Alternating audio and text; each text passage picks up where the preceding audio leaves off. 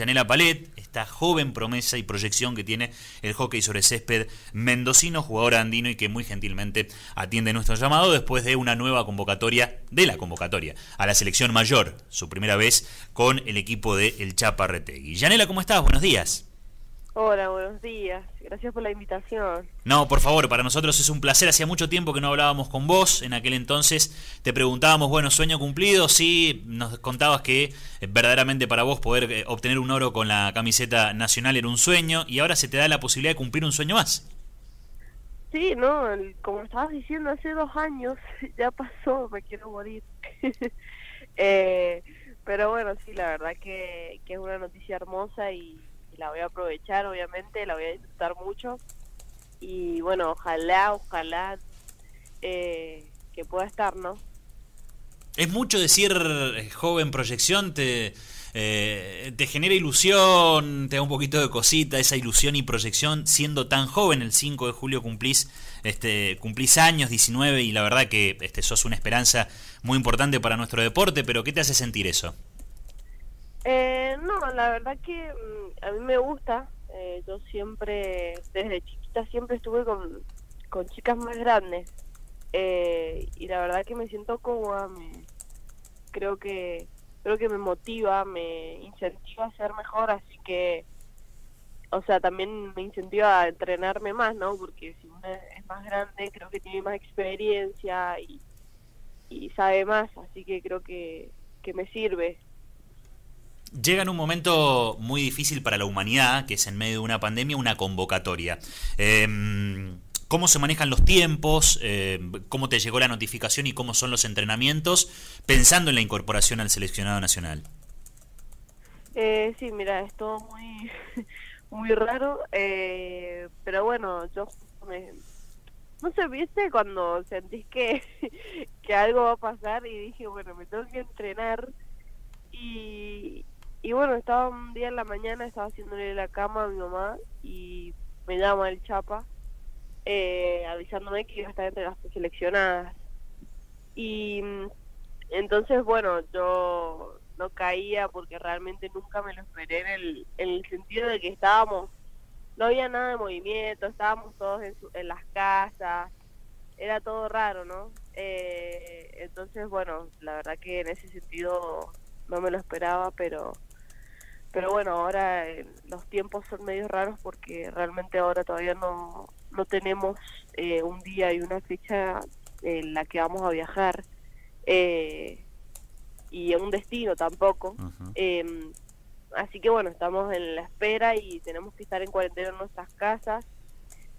así que bueno, también nos tenemos que manejar con los tiempos de entrenamiento porque no es lo mismo entrenar en una cancha que podés hacer dos horas y media que no te aburrís a, a una casa que realmente con, con los elementos que, y el espacio que puedes llegar a tener, eh, te hace una hora, una hora y media como mucho el entrenamiento, así que tenés que tratar de meter uno o dos turnos. de, de, todas maneras, con esta posibilidad está bien que, a ver, eh, lamentablemente en la época del año en la que estamos y con el frío que hace, también se, dificulta y mucho, eh, pero estas flexibilizaciones que ha permitido el gobierno provincial para el deporte, ¿no te abre la puerta también para un trabajo distinto al que venías realizando pura y exclusivamente en tu casa?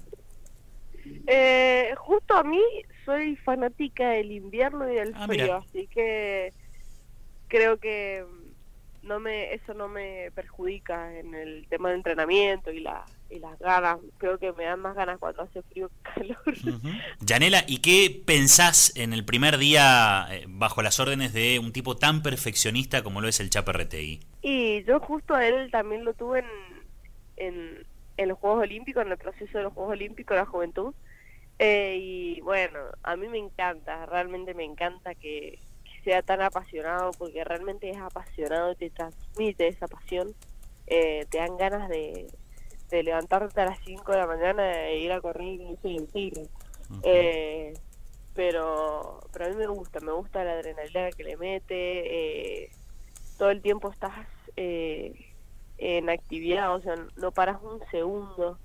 Eh, no, la verdad que a mí los entrenamientos de él me encantan eh, y, y, bueno, me dan ganas, me, no es que digo, uh, hay que correr un montón y porque todo, o sea, no, no hay un día que digas, bueno, hoy va a ser más tranquilo, no, todos los días van, sabes que vas a correr mucho y que va a ser duro, pero es lindo, ¿no? Yo a mí yo me lo me lo tomo así, como que es lindo entrenarte tanto. Eh, encima para ahora verlo, que vamos a entrenar un montón, pero para un juego olímpico mayor, a mí, a mí creo que eso, cualquier cosa que hagamos, cualquier físico que hagamos, me lo voy a tomar como diciendo, va a haber un sueño ahí más grande todavía que el juego de la juventud, así que... Lógico.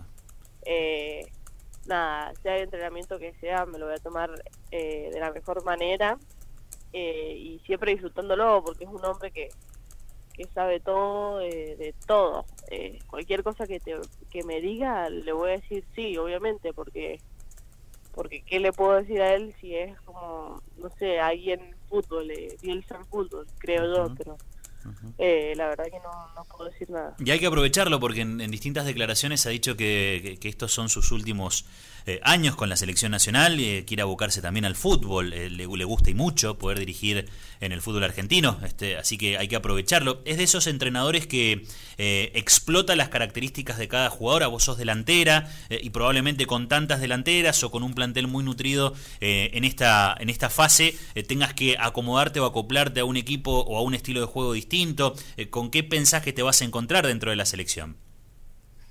Eh, sí, yo creo que, bueno, primero sí hay que aprovecharlo al máximo porque creo que pocos entrenadores pasan así. Eh, y no sé, la verdad, con qué selección me voy a tocar. Eh, yo, yo estuve en entrenamientos con ella ya. no estuve para convocada para una gira, estaba haciendo mi primera gira, pero ya estuve en entrenamientos con ella y con el Chapa y yo creo que es muy muy de ahí para adelante, es un equipo que es muy agresivo, eh, también obviamente que eh, la parte de la defensa es, increíble también, eh, está, Pichelía, todas esas chicas que, que es muy difícil pasarlas, eh, pero sacando eso creo que es un equipo muy agresivo que que va, trata siempre de buscar el arco, ¿no? Yo creo que el objetivo siempre es, es hacer el gol. Entonces, bueno, la verdad que creo que hemos encontrado un equipo muy físico y muy agresivo. La, mencionaste a Piti Elías, si bien es una referente del plantel nacional, ¿tuviste la chance de poder hablar con ella o alguna de las integrantes del plantel en esta convocatoria?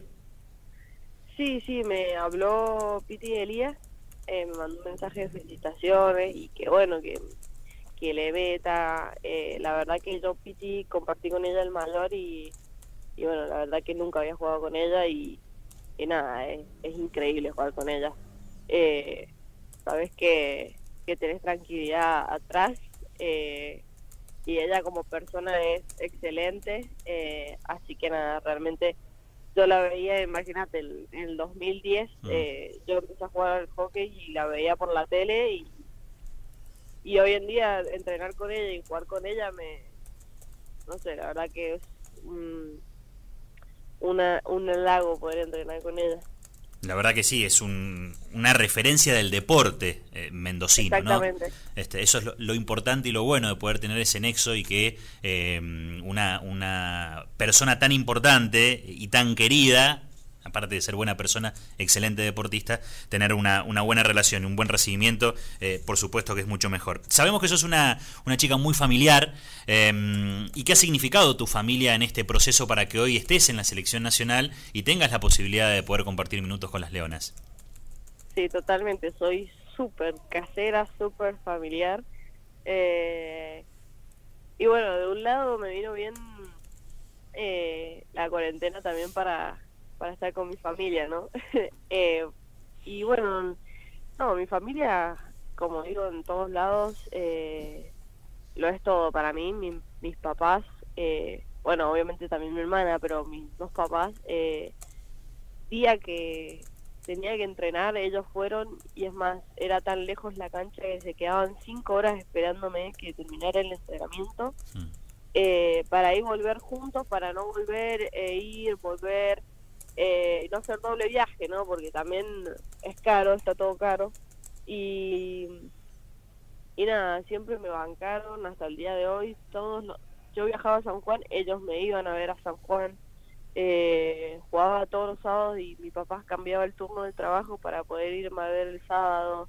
Eh, no, la verdad que mi familia desde, desde que arranqué el hockey eh, hizo todo su esfuerzo para darme lo mejor en los palos. Hoy en día, bueno, gracias a Dios ya tengo una marca eh, de palo, pero pero fueron años que me pagaron palos caros, eh, botines, canilleras. Eh, no, eh, yo, gracias a mi papá, creo que, a mis papás, creo que fue, fue todo. Obviamente uno entrena y hace lo mejor que puede, pero también tener el apoyo de sus padres es increíble.